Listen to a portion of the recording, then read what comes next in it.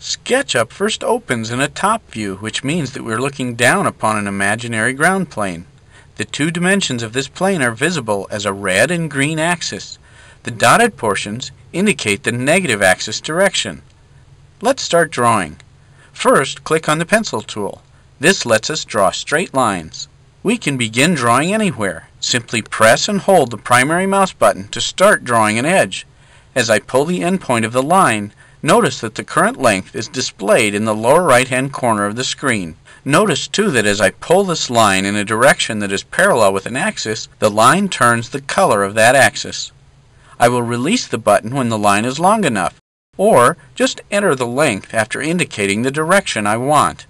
I'll enter a length of 12 feet and the line becomes that length. I've intentionally left the dimension of this second line visual and loose to demonstrate that I can draw as accurately or as loosely as I want at any time. This lets you focus on proportion and massing while precisely locking down important measurements. SketchUp features a unique ability to infer directions on a 2D screen, which helps navigate in 3D space more quickly. An inference is indicated by a colored dot under the mouse cursor. As I move the cursor over a line, SketchUp indicates when we are on that line with a red dot. Endpoints of lines show as a green dot, and midpoints display as light blue or cyan. Clicking when these points display allows you to draw accurately from these points.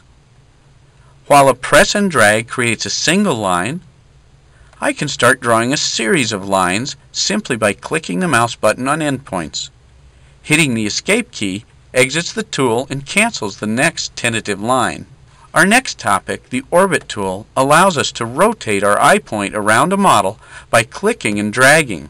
This is one of the handiest ways of viewing and navigating in 3D using SketchUp. You can see that the blue axis is now visible. This indicates the vertical direction. The surface we've drawn now becomes visible in perspective. Let's click on the Push-Pull tool, which lets us manipulate surfaces easily. Simply press on a face and drag in the direction you want to go. In this way, flat faces can be extruded into 3D volumes. I can specify a distance after I release the mouse if I want, just like when specifying the length of a line. I can also push-pull on any of the sides that were created.